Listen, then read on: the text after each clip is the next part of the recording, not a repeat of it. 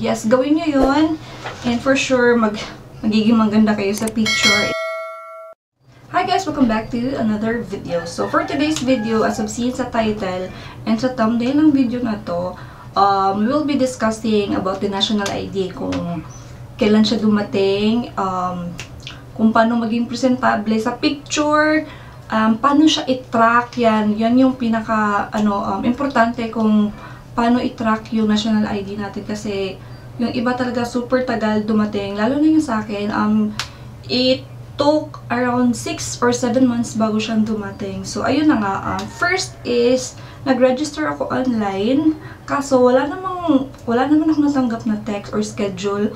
So, yung sa amin dito is, kumuha kami ng barangay, dun sa barangay ng priority number. Tapos, pumunta kami dun sa site, which is, yung pinuntahan ko is si SM Downtown. And I think mga around 1 na ata akong pumunta dun, or kami. Um, lima kami, kasama yung mga auntie ko.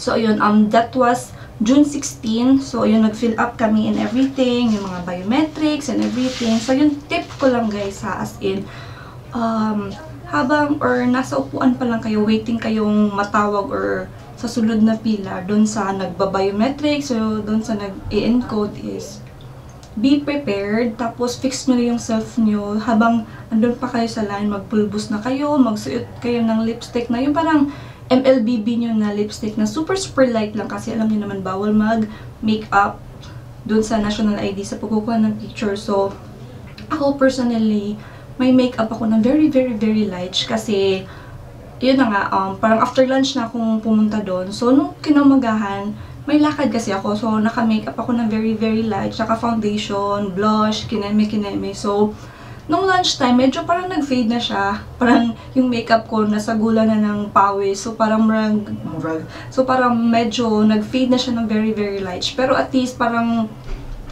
pantay pa rin yung skin ko kasi may foundation ako ng very, very light. Eh, nakapagpulbos ako noon.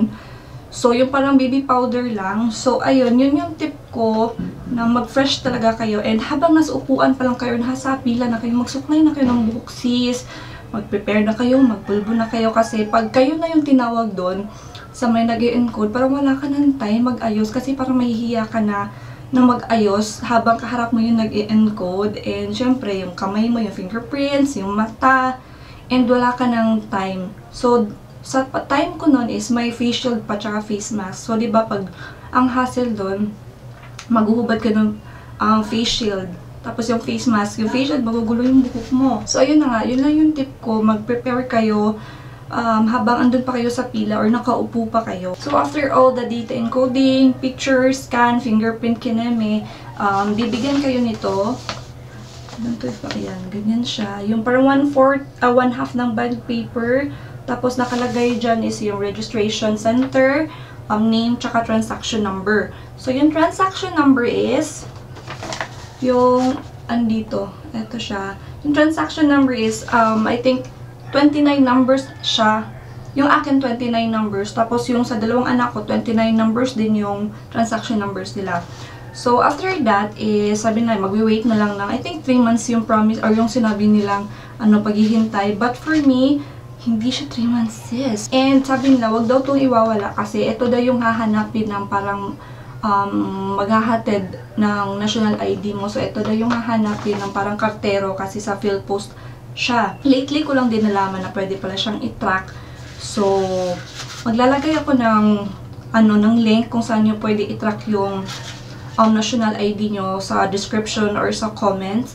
So, yun, i-click nyo lang yung link para mapunta kayo directly doon. So, Maglalagay lang din siguro ako ng um, video or picture dito kung paano yung process. So, ayun na nga. Once i-click nyo yung link is mapupunta kayo dun sa PhilPost na site. And super easy lang um, gamitin yung site na yun kasi pag click nyo nung link na yun is lalabas na yung parang um, tracking eme. Tapos, i-input nyo lang yung transaction number which is yung andito yung mga I think 29 or 30 numbers yung meron. Kasi may nakita akong 30 daw din yung numbers nila. So, once na na-input nyo na yun siya, um, it's either lalabas doon ng not found and yung isa din is parang na-input na siya sa system or andun na siya sa fill post nyo. So, yung akin, twice ko siyang chinek around December din. I think mga first week ng December yung first is user not found. Tapos yung pangalawang beses, December, I think last week na ng December, 20 something na, 20 up pataas na. So, um, na-check ko siya and nakita ko na ando na pala siya sa field post namin dito sa Cagayan de Oro. So, sobrang excited ko sis. Gusto ko na siyang kunin. So, pumunta ako doon. I think, um, December 28 ko ata siya nakita na ando na siya sa field post namin. So, um, hindi ako nakaalis ng 29. So, pagka 30, 31, and 1, di ba, ano yun, mga holidays. So, pumunta ako ng field post, I think January 2 or 3 na. And, nung pumunta ako doon, parang, hindi naman nila binibigay doon sa field post. So, yung sabi lang sa akin ng lalaki doon is, isulat ko daw yung name ko and number kasi parang kakausapin niya yung kartero na nakahawak sa national ID something ko. Pero wala naman ako narinig na feedback sa kanya. So, naghintay na lang ako na ihatid sa amin. So, no nag-January, I think 18 or 19 yun, may tumawag sa akin na field post or nung kartero na i-deliver na daw niya yung national ID ko, which is, eto siya. Siyempre, nabuksan ko na siya, sis. So, ganyan siya. So, dito yung pangalan ko, address, keme keme. So, ayan. Wait, kunin natin. Um, national ID reveal na ba to? Yung picture. So, ayan siya. And, nas nasyakira talaga ako kasi sabi nila, di ba, hahanapin to ng, ano, ng kartero once ibibigay na yung national ID. And sadly, hindi ko mahanap yung akin. Hindi ko alam kung bakit. Ito is, sa anak ko to. And, ayun, buti na lang hindi hinanap ni Kuya Kartero yung akin. So, ayun, pina-fill up niya lang ako or pina, uh, name tsaka signature, signature, signature. Tapos, okay na, binigay na yan sa akin. So, ito yung akin says. Wait lang. Ganyan yung itsura ng papel. Dito is name, address, tsaka may parang QR code siya dito. And yung akin, ayan siya. Hindi ko pa siya kinukuha to think, bakit umiitim? To think na January pa to um, dineliver and March na tayo ngayon sis. So, ayan siya. Oh, oh, oh. So, this is the national ID. Parang ganyan. Wait lang. Cover. Need to cover something. Parang ganyan.